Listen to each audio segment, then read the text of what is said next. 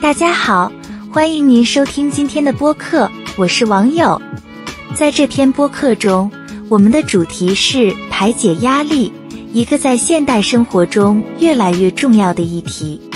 接下来的时间里，我们将一起探讨压力是什么，它的来源，给我们生活带来的危害，以及我们如何有效的排除它。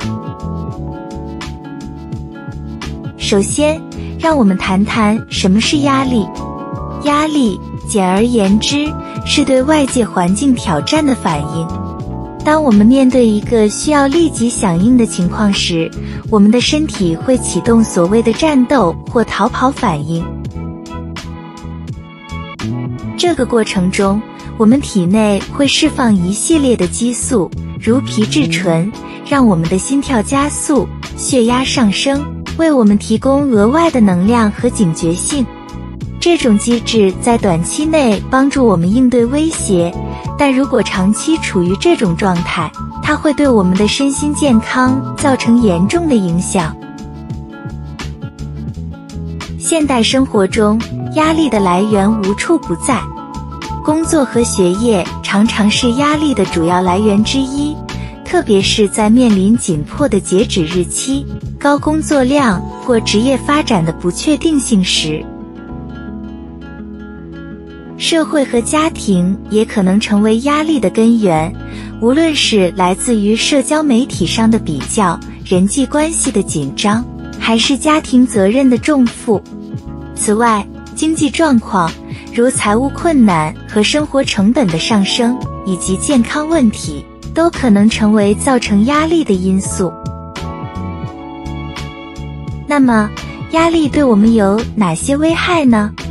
长期的压力会对我们的身心健康造成多方面的影响，它可能导致焦虑、抑郁和睡眠问题，影响我们的情绪稳定和心理健康。身体方面，压力可以引起心血管疾病、消化问题。甚至免疫系统功能下降，使我们更易受到疾病的侵袭。面对压力，我们如何有效地排除它呢？首先，识别和接受压力的存在是第一步，然后采取积极的方法来管理压力，比如定期进行身体锻炼，这不仅可以改善我们的身体健康，还能释放压力。保持健康的饮食习惯，确保充足的睡眠也是非常重要的。此外，学习放松技巧，如深呼吸、冥想或瑜伽，可以帮助我们减轻心理上的压力。最后，寻求支持，无论是和朋友、家人交谈，还是寻求专业的心理咨询，都是应对压力的有效方式。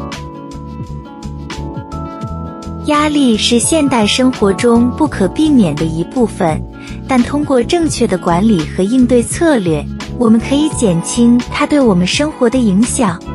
记住，关心自己的健康和福祉是至关重要的，而学会管理压力，正是保护我们身心健康的一种方式。感谢您的收听，希望今天的内容对您有所帮助。我们下期节目再会。